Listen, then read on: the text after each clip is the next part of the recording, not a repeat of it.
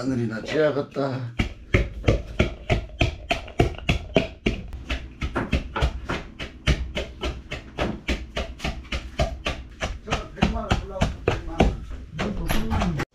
좀더 풀어야 돼.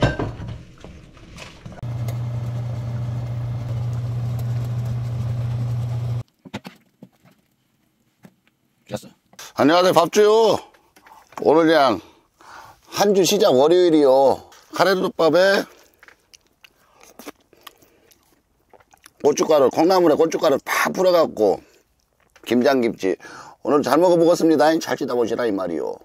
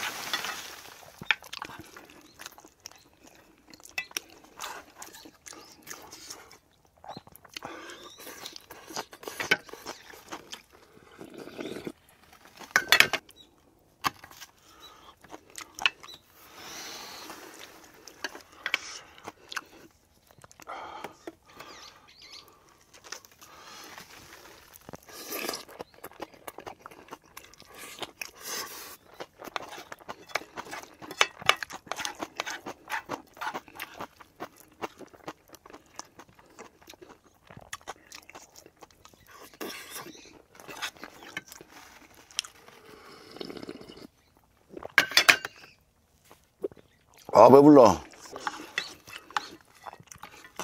와, 양 많다.